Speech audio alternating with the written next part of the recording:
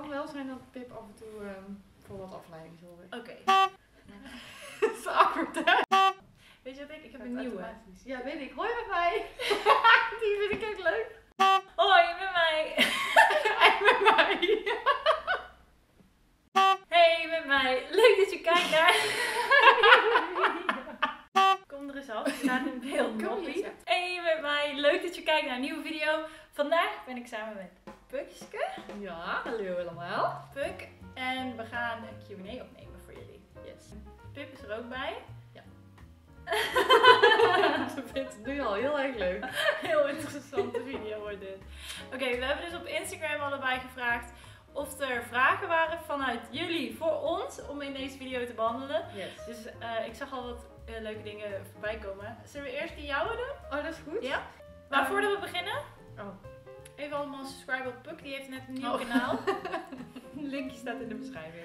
Ze heeft net een nieuw kanaal met drie video's, dus dan kun je gewoon vanaf het begin helemaal meekijken. Ja, dan wel. Dat is dan wel een voordeel dat je niet... Ja. Zou ik bij mij niet doen, want het is echt... Eerste vraag.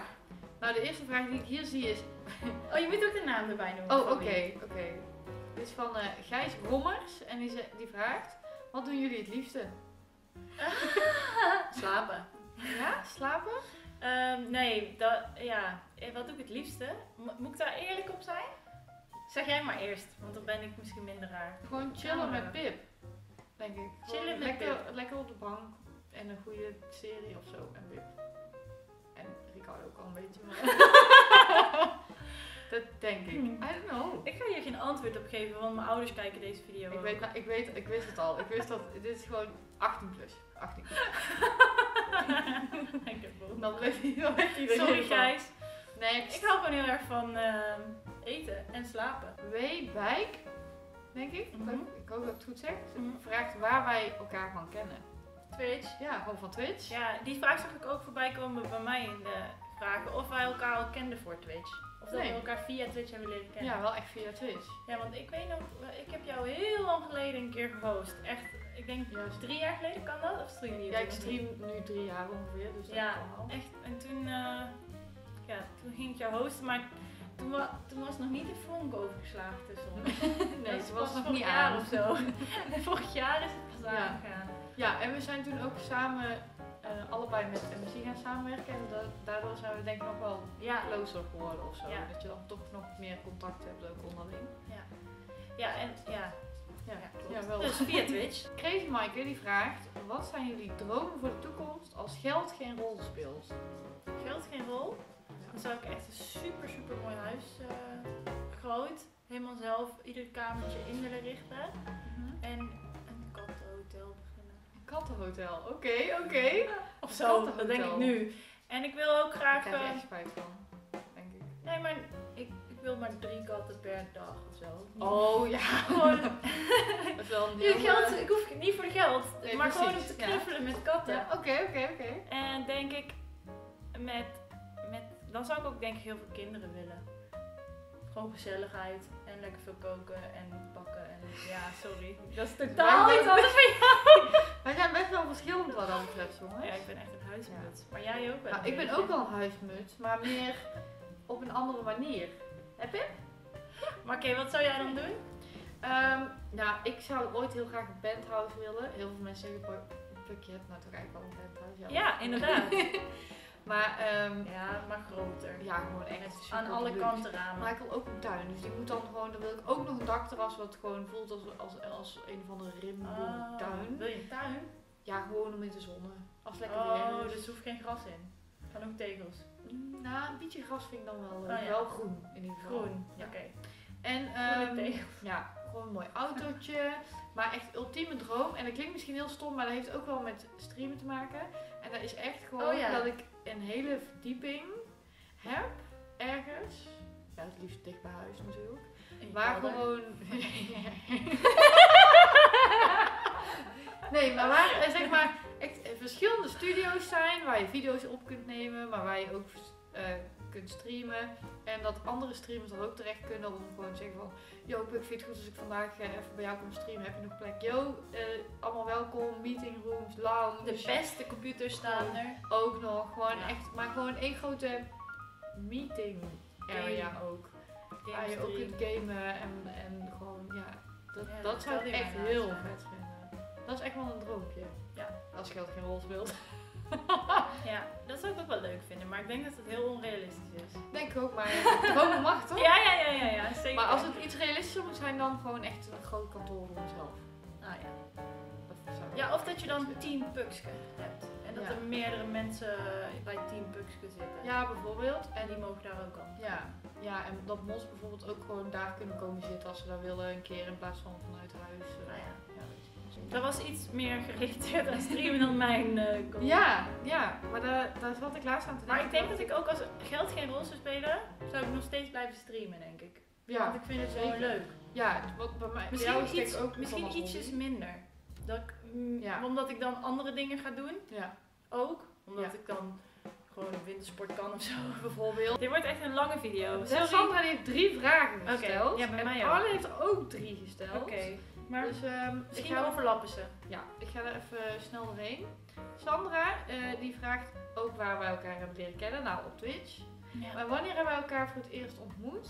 ja, dat was ik. volgens mij First Loop. ja Of oh ja, toen kwam ik naar jou toe. Ja. Bij, eh, Bij de Twitch, Twitch lounge. eh, lounge. Ja. En toen dacht ik, ik ga eens even een keer naar die puk toe. Dat lijkt me wel leuk. En toen? Vond je dat awkward toen? Ik was zo, hey puk! Nee, maar ik, ik moest even goed kijken in het begin. En toen Oh, dacht ja. ik, oh ja, dat Labia oris. Labia nee, of ik het toen nog met Tia. Volgens mij heet hij toen nog Mattia TV of zo, dat denk ik wel. En de andere vraag van Sandra is, ehm, wie van jullie eerst partner, eerder partner was? Ja, sowieso Mattia. Ja, ik volgens mij ja. Ja. Maar, Ik stream ook veel minder. maar dat komt denk ik, ik, volgens mij was ik een van de eerste partners toen dat over, want eerst was het gewoon glo- global, weet je wel, Mhm. dat je partner werd via Amerika. En toen kwam er op een gegeven moment een soort Nederlandse Ja. tak. En volgens mij was ik een van de eerste echte, misschien was ik wel de eerste die Ja. met een Nederlandse partner manager had. Dus, Mhm. dus ik was een soort trial. Oefenen. En toen kwam er echt zo'n hele meute aan allemaal ma- partners ineens. Ja. Iedereen die meer dan 50 kijkers had, die werd partner. En toen, toen zijn affiliates gekomen. En toen hebben ze het weer veranderd. Ja. Dat was wel leuk. Ja. Maar jij bent, jij bent twee jaar partner dan? Eh, ja. Dus Ah, ja. na een jaar ongeveer werd ik partner. Nou ja. Wat, wat vind jij eigenlijk van die affiliates nu? Ehm, ja, ik vind het wel leuk, want het motiveert mensen met minder kijkers ook om door te gaan. En als je dan affiliate bent, dan heb je al meteen iets wat je terug kan geven zonder dat je Patreons of zo moet Ja, ja. opzetten. Dat je iets extra kan doen Ja, voor je loyale kijkers. Ja, daar ben ik wel echt met je eens, maar ik vind ook wel dat het wel iets te makkelijk Ja, is. ja, ze mogen het wel iets strenger iets maken. omhoog. Want ik eh, hoor heel vaak dat mensen zeggen, hey, wil je me een keer hosten? Want dan word ik affiliate. En dan denk ik, huh? Maar Ja. dat is niet hoe het werkt je hoeft natuurlijk. blijkbaar echt maar een paar kijkers te Ja, hebben drie. en dan zoveel dagen gestreamd. Maar stel nou voor, je, hebt, je vraagt je vader, je moeder en je zus om even je Ja. stream open te zetten. Ja, ik vind dat net iets te makkelijk. Als je nou zegt 10 of zo, dan, Ja. dan is het toch al wat. Ah, ja, eigenlijk zou 20 het beste zijn. Ja, vind ik ook. 20 was bij mij wel het moment dat ik 20 kijkers was. Dat is wel, was wel het moment dat ik dacht, nu ben ik echt aan het streamen Ja. voor heel veel mensen. ja. ja, en nu zijn het er nog iets meer. ja, daar denk ik maar niet te veel over na, want dan wordt het een beetje eng. Nee, inderdaad. Ehm, en de laatste vraag van Sandra, die was hoe lang wij elkaar al kennen. Daar is ja, dan... First Look is anderhalf jaar? Nee. Ja, is het zo Ja, kort echt. maar? zeg maar, Een jaar en een kwart. dat we elkaar gewoon zeg maar, goed kennen, is denk ik anderhalf jaar zoiets. Ja. ja. Daarvoor dan weet je wel wie je bent van elkaar, maar dat vind ik niet echt kennen. Nee, zo, nee. toch? Nee, dan ben je meer een collega. Nee. En Arlen die vraag, heeft ook nog drie vragen. Wie heeft, wat is iets met merch zag ik staan? Oh ja, wie heeft de mooiste merch? Ja, ik natuurlijk. Ja, ze heeft de mooiste merch. Oh. Ze nu. ja, ja, ja. Nee, we hebben ik gewoon vind allebei eigenlijk... gewoon hele mooie. Ja, Ik, ik vind het niet zo goed te vergelijken, omdat... heel anders, Ik ja. heb zeg maar geborduurd. In Ja. ieder geval als je dan de, de muts kijkt. ja. En jij hebt zo'n Een labeltje. label. Dus het is maar net wat je zelf Ja. leuk vindt. En jullie, jullie, mogen dat, jullie mogen dat Mhm. beslissen. Ehm, andere vraag van Mattia was nog... eh, of- ja, van Mattia. Hey, alles goed. Ik heb een vraag. Arlin. Zou je het aandurven om een keer met Mattia naar de gym te gaan? Nee, nee, nee. Oh my god. Oh, ik heb ook zo'n soort vraag van Echt? Arlen. Oh my god. Nee, nou, dat weet ik mhm. Nee? Nou, dan moet ik wel even eerst wat mentale voorbereiding. eh, Hoezo dan? Ja. Is dat eng? Nee, maar zeg Zwaar. Maar, ik ga echt nooit. Dus ik weet, ik echt, ik zweer het, als jij zegt, nou hier heb je een apparaat, doe er maar wel mee, dan ga, weet ik nou dat ik er verkeerd op ga zitten. Of, dat ik in plaats van dat ik, dat Even in de voor je comments je die video wil zien. Dat wij naar de gym gaan met z'n Ik tweeën. zweer het, dat is iets, waarschijnlijk is een apparaat voor je benen en dan ga ik met mijn arm aan zitten. Zo, weet je wel? Ja, echt, ik zweer het. Ik weet gewoon niet hoe die dingen werken. Daar begint het al. Plus ik heb echt een conditie van nul. En dan denk jij, Puk, we zijn net begonnen en dan ben ik al klaar. Nou, ik kwam net helemaal uitgeput hierboven. Nou, oh, ik kom altijd. Ja, ik moet altijd even gaan zitten. Nee, grapje. Zo, zo erg is het dan net niet. Oké, maar dat is wel een mooi wel- overstapje naar die Arlin's vraag die ze bij mij had Oh, gesteld. oké, ja. Arlin zegt: Zou je het aandurven om voor Puk te koken? Want jij bent natuurlijk een beetje moeilijke eter. Nou, Maar weet je, ik doe gewoon frikandellen in de airfryer. Als, ja, eh, als altijd Puk goed. komt. Dat is altijd goed. Dan zeker. Nee, of een biefstuk. Ik vind Ja. best wel. En hamburger hou je er ook van? Ja, alleen dan zonder sla, tomaat, eh Ja, maar, sauzen, ja want ik vlees. eet dus wel een eigen. Ja, ik heb, nooit, ik heb nooit een betere hamburger gehad ergens. Oh, dat is mijn ja. eigen hamburger. Dus Ja. die wil ik dan wel een keer voor je maken. Als ik dat iets moet maken voor jou. Ja. En Ja, een dat broodje erbij. broodje. Zag ik in jouw laatste vlog de, in de Ja. Las Vegas dat Ja. je een broodje van je vader kreeg. Ja, dat klopt. Dus ik dacht, nou, dat ja, geef maar ik dat ook. zo lekker. Dat waren echt van die... Nee, ik ken die broodjes, ja. Ik ken, ik ken dat eten. Oké, volgende vraag ook van Arlen. Hoe voelt het nou om allebei tot de grootste vrouwelijkste streamers van NL te horen? Oh, dat wel. Hoezo? Oeh. Ja, maar, nou, ik weet niet of je Kim wel eens gezien hebt, maar die is veel groter dan wij zijn, hè? Die is echt eh, bijna een kop groter. Ja, zij is wel echt groot, hoor. Ja. Ik bedoel, ik ben echt mini. Ja. En Matthias is nog groter dan... Dus laatst... Ben ik groter dan jij? Ja, vast wel. Hoe groot ben jij dan? 1,50. Nee, grap. Ik ben anderhalve meter. Nee, volgens mij ben ik iets van 1,68, 1,69. Ik ben ook 1,69. Ja, maar ik Ik sta misschien wat rechterop. Ja, dat sowieso. Ik echt hem ook. Nee, nee, nee. ik moet opvallen. Nee. Maar ik heb wel vaak hakken aan, dat scheelt wel. Ja, dat doe ik ook. Maar, Heel dat soms. bedoelt Arlen natuurlijk niet. Nee. Maar ja, daar voel je niks van. Toch? Ja, ik voel er niks van. Het is niet, nee, want het is niet als YouTube, hè, dat je op herkend wordt op straat of nee zo. dat is het niet. Plus- niet. Het enige wat wel tof is, is als je gewoon als iemand het tegen je zegt en dat je, net zoals nu dan, Ja. dat je dan denkt van, Oh ja. oh ja, wow, dat is Ja. echt best wel sick. Ja, klopt. Maar als ik het tegen mijn ouders zeg of zo, of tegen, nou, mijn vriend, Ricardo het nog wel, maar als ik tegen mijn ouders of andere mensen zeg van, ja, ik heb zoveel eh volgers of dat soort dingen, dan, eh, ah, cool. ja, ja, zeg me niks, maar het zal wel leuk zijn. Dus ja. Ja, ja en wat ik, ik heb dan wel, eh, als ik dan iemand tegenkom, dan heb ik bijvoorbeeld een Twitch muts of een jas of een Ja. trui aan en dan ben ik in de stad of in, ben ik boodschappen en zeg ik dan, ah, ik kijk ook weer Twitch, ben jij een streamer? Oh, Dan zeg ik ja. En dan, ja, je gaat niet zeggen van dat je, ja, groot bent. Van, Want eh, dan ja, ben je ook... mij niet? Nee, kijk je wel eens Nederlands? Nee. Ik kijk altijd naar Ninja. Oh Ja. ja, nee, ja, is, ik ben niet zo groot als Ninja. Nee, er zit wel een verschil in. Ja, dus als mensen het al kennen in Nederland, is het vaak niet Nederlandse scene. Ja, nee, dat klopt wel. Oké, volgende vraag. Ehm, ik ga even bovenaan beginnen. Oh ja. Kenden jullie elkaar vooral voor? Nee, hebben we al beantwoord. Wat is jullie favoriete game all time? Vraagt Brian de Oh. Nero. Brian de Nero. Dat vind ik echt niet te doen, die vraag. Ik krijg die vaak en dan denk ik, ja, maar er zijn zoveel goede games. Maar als ik een franchise mag kiezen, was voor mij wel echt. Heeft zeg maar heel mijn kijk op de gamewereld en zo veranderd. was wel echt Assassin's Creed. Ja?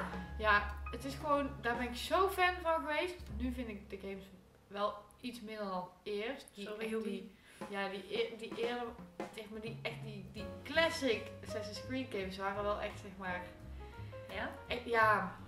Maar ik vind het wel tof hoe ze nu steeds, zeg maar, weer een nieuwe game van maken met een nieuw verhaal. Ja. En ik vind de laatste wel weer heel tof met Ja. ehm, Odyssey. open wereld Odyssey. Ik, Ja. Het verhaal spreekt me ook heel erg aan. Ja. Ehm, maar ja, ik weet nog dat ik Game Kings zat te kijken. Echt, ik was echt mini hoor, ik was nog een klein puk En ehm, toen, ik weet nog, ik had altijd een droom van een game. Dat je dus echt gewoon over de, alle daken kon klimmen. En dat je ook gewoon zo, echt zo'n, s- ja, eigenlijk echt een assassin was. En, nou, en toen zat ik Game Kings te kijken en die game werd aangekondigd. En ik dacht echt, "Oh, dit is het. Dit is de game die, waar ik over droomde. Ja. Dus zodoende eigenlijk. Assassin's Creed, grappig. Dat Dat wist ik niet. Maar of, ik, of het echt zeg maar mijn best game ever, weet ik niet. Ik vind gewoon zoveel leuk. Bijvoorbeeld Last of Us is ook een super goede game. Ja, ja, ja. Uncharted, Red Dead Redemption. Uncharted vind ik ook leuk. En eh, wat ik echt wel vaker kan spelen is Until Dawn. Heb je die wel eens gespeeld? Ja, ja. Ja, die en, en eh, ja, ik weet het niet zo goed. All time. All Eh, time misschien, vind ik echt een moeilijk. misschien vind ik dan wel gewoon Red Alert of zo, of Team Hospital, wat ik vroeger speelde. Rollercoaster Tycoon. ja, of Sims. Ja, het zijn zoveel goede games. Ja. Het is eigenlijk niet... Dat is echt moeilijk. En Far Cry vind ik ook echt leuk. Ja. Ik kan nog niet wachten op die nieuwe. 15 komt die uit. 15 februari. New Dawn, hè? Ja, oké. Jimmy Driessen vraagt: Als jullie konden tijdreizen, naar welk jaar zouden jullie gaan? Oh, ik vind het altijd zo moeilijk, want ik, ik zeg het altijd, ik zou echt wel eens een keer een weekje zo in zo'n vroegere tijd willen leven. Maar in welke Ik week? denk eerder dat ik naar de toekomst ga. Jij? Ja, over 50 jaar of zo. Kijken. Nou, nu je het zegt, vind ik gewoon echt over een paar honderd jaar ook wel. Ja, maar dan is de kans dat we dood zijn. Ik zou maar zeggen, alles, iedereen Ja. verdorven en dan kun je dadelijk niet meer terug. Ja. maar het is toch niet... Oh, is het echt dat je daar dan ook gewoon blijft, zeg maar? Ik dacht, Nee, oh nee, nee. Ja, om te kijken hoe het was. Ja, Ja. zou ik ook wel over 100 jaar, maar daar heb je niet zoveel aan. Ja, dat kun je dan vertellen tegen iedereen, maar dan word je in een stik gestopt, want die zeggen ja, eh, dat is niet helemaal goed. Nou, meer omdat ik ook heel benieuwd ben. Je ziet altijd van die films met van die... Ja, echt van die super futuristische huizen en, Ja. en wagens. Maar misschien is het over 50 jaar al Ja, dat heftig. Ja, wie weet. Maar ik vind het ook altijd heel interessant om bijvoorbeeld in de tijd van echt, weet je wel, de Romeinen en zo, om daar gewoon een beetje rond te lopen en te kijken Ja, hoe het toen was. Ja, ja, ja. ja, Ik weet niet of het als vrouw daar heel leuk was toen, maar nee. weet ik niet. Maar ja, er gaan heel veel mensen terug in de tijd, maar ik zou vooruit in de tijd gaan. Oké, deze hadden we al. ja. Deze, Sandra heeft dezelfde vraag gesteld Oh, bij oké. mij. Ehm, Ste- Steven Depends. Ik zeg, al- is het Steven of Steven? Volgens mij Steven. Ik zeg het altijd fout. Ik weet het niet. Depends in ieder geval. Zijn Ja. jullie tevreden met jullie ontwikkeling in 2018 en dan willen jullie in 2019? Aha. 2018 was voor mij een jaar waar ik op alles bijna ja zei. En dat eh, heeft me heel veel gebracht, heel veel geleerd. Ik heb heel veel trips gemaakt. En eh, dat heeft me wel wat eh, een stuk ouder gemaakt ook. Ik heb wel hoop meegemaakt in 2018. Eh, dus dat zijn allemaal levenslessen. En als je dan over Streamwise hebt, zou ik in 2019 gewoon echt veel meer willen streamen. Gewoon echt uren maken op Twitch. Dat is wel echt, maar dat is niet heel erg eh, ambitieus. Maar wel Nou, wat ik leuk vind. Ja, Ik wil nog meer games spelen. Ja. Ja. ja, ik wil ook wel echt weer lekker gewoon die streams gaan grinden. Hm. Ja, en eigenlijk wat ik zei, dat kantoor, dat zou leuk zijn. Maar ik weet niet of dat is dit jaar denk ik nog niet haalbaar. Maar dat is wel echt iets om, zeg maar, dat is wel echt een goede stimulans om nog meer te willen streamen en andere en, en video's te maken en dat soort dingen. Ja. En ehm, ja, 2018 was voor mij ook wel een jaar, zeg maar, ik, ja, toen was ik echt net fulltime streamer. Ja. En dat was voor mij super. En dan krijg je ja, je eerste sponsors en dat soort dingen. Ja, super leuk. ja, dat is echt Ja. niet te omvatten eigenlijk. Ik ben ook begonnen in maart natuurlijk met fulltime streamen vorig jaar. Ja. Dat is bijna een jaar geleden nu. En dan denk ik, wow, wat ik nu, dat had ik echt niet. Dat Ja. zo, eigenlijk is het best wel succesvol, maar je mag nooit zeggen van jezelf dat je succesvol Nee. bent. Maar het is wel succesvol geworden eigenlijk.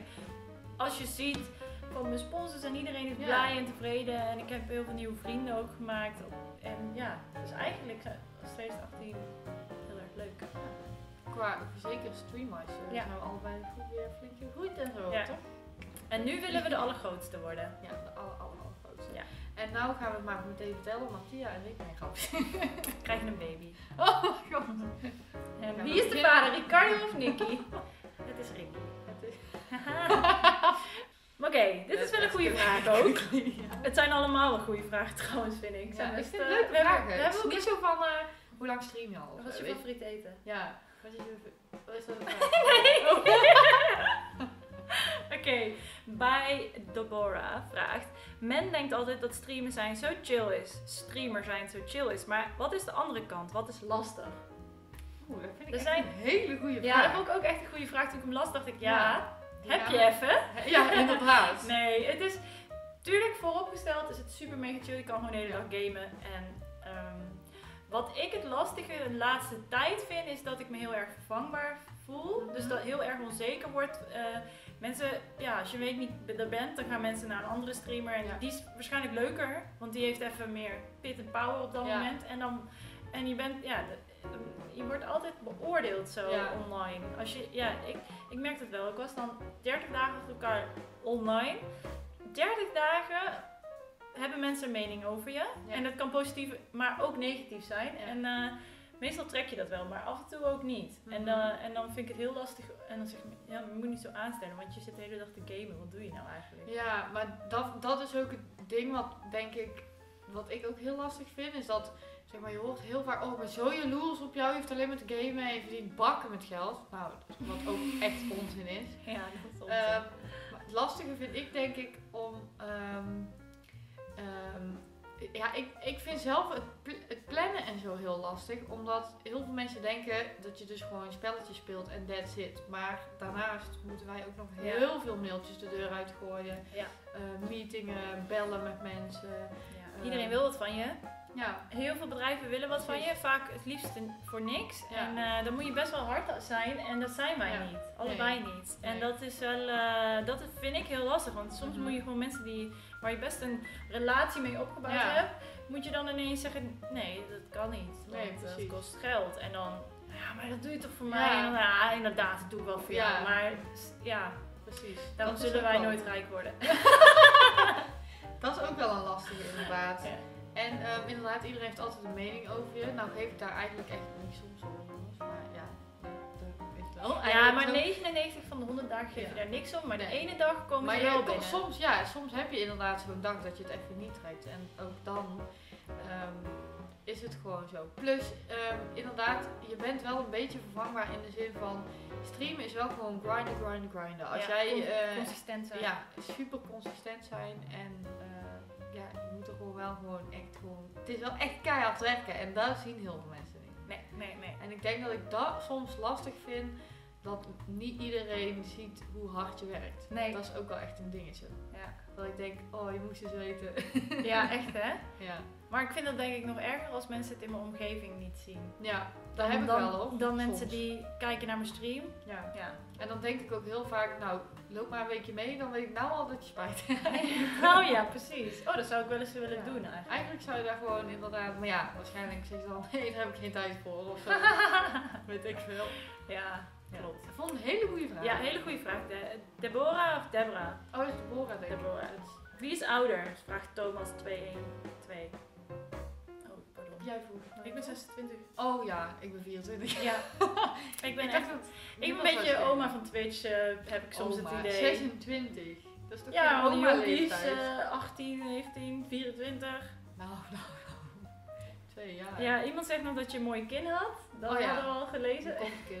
En wat is het gênantste moment, vraagt Thomas ook, wat je ooit hebt meegemaakt? Ja, dat weet, ja, dat weet ik altijd meteen als mensen mij dat vragen. Is dat met die Febo eh, of dan niet? Nee, dat is oh, gewoon echt Oh, oké, wat is jouw gênantste moment dan?